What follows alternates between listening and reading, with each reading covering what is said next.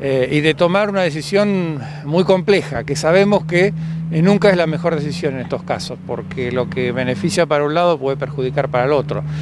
Pero finalmente, después de hacer un análisis de, la situación general, eh, de las consecuencias de,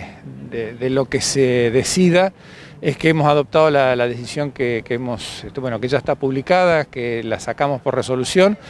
Eh, pudimos hacerlo en conjunto con Trevelin, porque prácticamente las resoluciones son muy parecidas entre Esquel y Trevelin, porque consideramos que desde el punto de vista sanitario ambas ciudades son, eh, son una sola cosa, este, eh, un solo núcleo urbano. así que bueno, ha sido realmente una decisión muy compleja y por otro lado, por otro lado también hemos analizado que eh, en el día de ayer se hizo la capacitación de aquellos que van a hacer los seguimientos de contactos estrechos, hubo que contratar gente, lo contrata la municipalidad.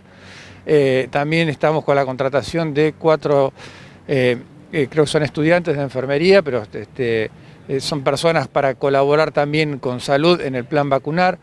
hemos estado también colaborando con lo que hay que hacer, porque la pandemia se trata fundamentalmente de vacunar, de testear y de vacunar. Eh, bueno, seguimos colaborando con, los clubes que han abierto sus puertas para este, vacunar, pero también esto implicaba para el vacunar y para el detectar. Esto implicaba también eh, costos que los afronta la municipalidad y seguimos trabajando para ver este, de aumentar la capacidad de terapia intensiva de nuestra ciudad.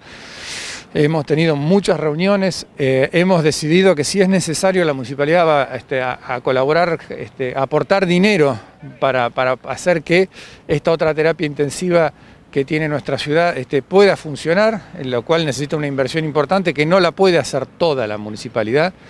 Eh, así que, y después viendo el, resultado de la situación económica que están pasando eh, nuestros comerciantes, eh, la situación social que se desprende de esto. Si ustedes van temprano a desarrollo social van a ver colas enormes de vecinos de nuestra ciudad que están, este, con, algunos lo dicen con dolor y hasta con un poco de vergüenza, buscando este, la única solución que tienen para comer, eh, porque la mezcla de la situación económica que hay en nuestro país, agravada por la situación de la provincia y agravada por la pandemia, hace que realmente muchos estén muy mal. Eh, así que bueno, ha sido algo realmente que sabemos que no es la, mejor de las soluciones porque siempre alguna cosa este, queda mal, pero este, bueno, eh, fue la decisión que hemos tomado en el día de ayer. Por un lado, la demanda en desarrollo social, que se incrementa, se incrementa naturalmente en los inviernos, pero eh, días atrás estuve con el representante de un grupo de desocupados de la construcción, que, este, eran los que conocemos como los del SOUCH, de otro sindicato de, la construcción, eh, que en este momento la provincia aporta alrededor de 70 subsidios para e, este grupo de, vecinos de nuestra ciudad. Bueno, me, dijo que está sobrepasado por la demanda que tiene él, que ya este, no sabe cómo hacer. Este, eh, son alrededor de 40, 50 personas más que le piden por favor que puedan acceder a ese subsidio de 8.800 pesos, creo que es el mismo valor que tenían en 2018. Y, bueno, así como estos muchísimos casos de, vecinos que este, están en situación crítica. Sumado a esto que la recaudación municipal ha caído, este, la facturación de, nuestro, de los comercios que aportan ingresos brutos bajó un 30%. Esto, esto muestra a las claras como ya en abril, porque lo que se está recaudando eh, ahora es de, abril, eh, refleja eh, el movimiento económico de abril ya hubo una caída en ese momento y sabemos que ha caído más. Eh, la caída de la actividad comercial son peligro de muchos puestos de trabajo que estamos teniendo. Em, se sacaba, y esto sumado con los atrasos de los sueldos eh,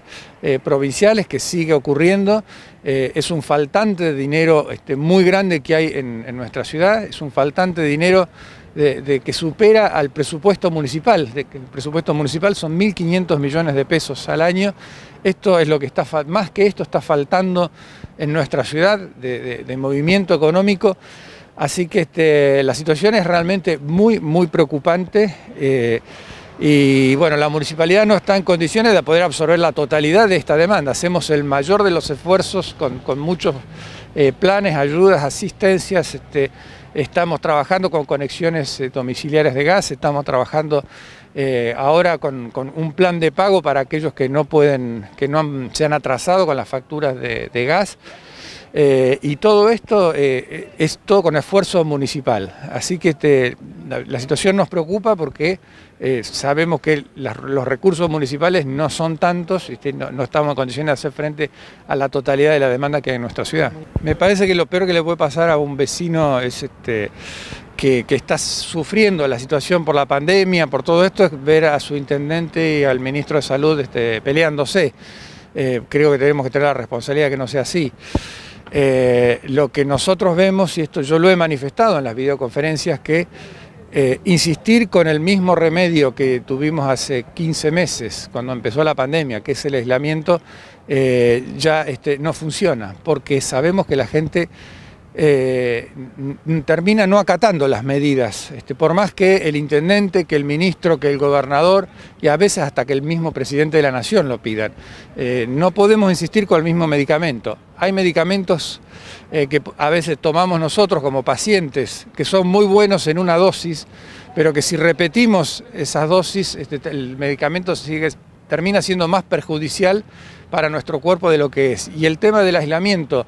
eh, así extremo como se pretende,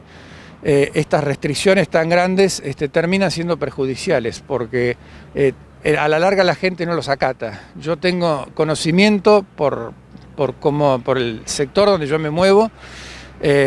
por, por mis hijos, por los amigos de mis hijos, que el fin de semana pasado hubo por lo menos tres reuniones grandes en quinchos o en casas de, de gente acá de Esquel, algunas de adolescentes y otras de adolescentes ya un poquito pasados de edad, eh, y, esto es lo peor que puede pasar. Entonces yo prefiero a veces que estén en una confitería, en una cervecería, donde están en una vidriera, donde todo el mundo los ve y donde los controlan, desde el dueño del local hasta los mozos, para que este, se cuiden las medidas sanitarias y no que vayan a, una casa particular donde ahí sí que no hay ningún cuidado, donde todo el mundo se relaja este, y se pierden todos los cuidados y de ahí viene la mayor parte de los contagios.